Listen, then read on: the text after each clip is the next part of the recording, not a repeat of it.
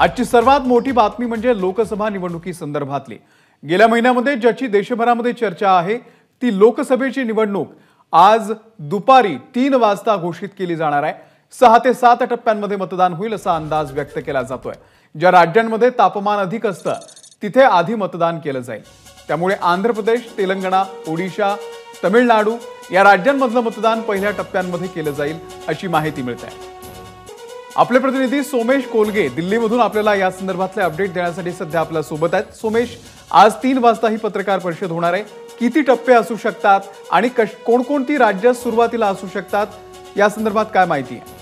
अमोल नक्कीच जवळपास जगभरातील सर्वात मोठ्या निवडणुकांची घोषणा. आज होणार आहे सर्वाधिक संख्येने मतदार ज्या निवडणुकांमध्ये मतदान करतात त्या निवडणुकांची घोषणा आज दुपारी तीन वाजता केंद्रीय निवडणूक आयोग करणार आहे. आपल्याला सर्वांना माहिती आहे की सध्याच्या या वर्षीच्या निवडणुका या सर्वसाधारणपणे महिन्याभरामध्ये पूर्ण होतील अशी एकूण माहिती आपल्याला मिळते. म्हणजे पंधरा मार्चला आज सोळा मार्चला आज केंद्रीय निवडणूक आयोगाकडून निवडणुकांचा कार्यक्रम कार्यक्रम घोषित होईल आणि त्यानंतर मग जवळपास महिन्याभरामध्ये जे जितकेही मतदानाचे टप्पे असतील ते पुढच्या महिन्याभरात संपून लगेच मेच्या शेवटच्या आठवड्यापर्यंत निकाल येईल अशी माहिती आपल्याला मिळते त्यामुळे यावेळेसच्या निवडणुकाचं एकूण ड्युरेशन हे शॉर्ट असणार आहे बरंचसं.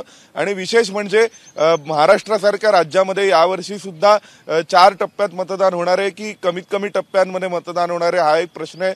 अनेक मोठ्या राज्यांमध्ये सुद्धा यावेळी कमीत कमी टप्प्यांमध्ये मतदान होण्याची शक्यता आहे. एकूण मतदानाचे टप्पे हे सर्वसाधारणपणे सात ते नऊ पर्यंत असतील अशी माहिती आपल्याला मिळते आणि मेच्या वीस तारखेपर्यंत म्हणजे वीस ते तीस तारखेपर्यंत कधीही निकालाची तारीख असेल आणि तिथपर्यंत एकूण हे सहा ते सात टप्प्यांमधलं मतदान आटपून संपूर्ण निवडणुकांचा कार्यक्रम जो आहे तो आटपला जाईल अशी माहिती आपल्याला मिळते. लोकसभा निवडणुकांसोबत काही राज्य विधानसभांच्या निवडणुकांची घोषणा होणार आहे. ज्यामध्ये अरुणाचल प्रदेश सारख्या राज्यांचा समावेश आहे. परंतु जम्मू काश्मीरच्या निवडणुकांकडेही देशाचं लक्ष लागलं होतं.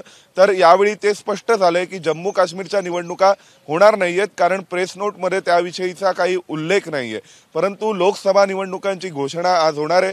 सर्वसाधारणपणे एका महिन्याभरामध्ये इतक्या मोठ्या संख्येने करोडो वोटर्स ज्या मतदान करोडो करोडो मतदार ज्या निवडणुकांमध्ये मतदान करतात त्या निवडणुकांचा कार्यक्रम हा आज दुपारी तीन वाजता केंद्रीय निवडणूक आयोग दिल्लीतील आपल्या मुख्यालयातून जाहीर करणार आहे. अमोल. सोमेश धन्यवाद दिलेल्या या संपूर्ण माहितीबद्दल आणि या संदर्भातले अपडेट दिवसभरामध्ये तुमच्याकडून आम्ही जाणून घेत राहू. एबीपी माझा उघडा डोळे बघा नीट.